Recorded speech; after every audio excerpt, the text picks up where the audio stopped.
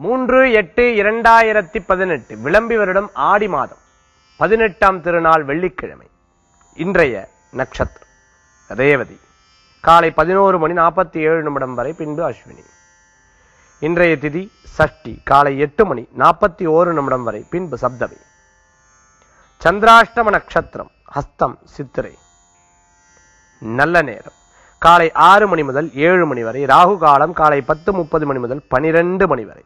யமகண்டம் மதியம் மூன்று மணி முதல் நான்கு முப்பது மணி வரை.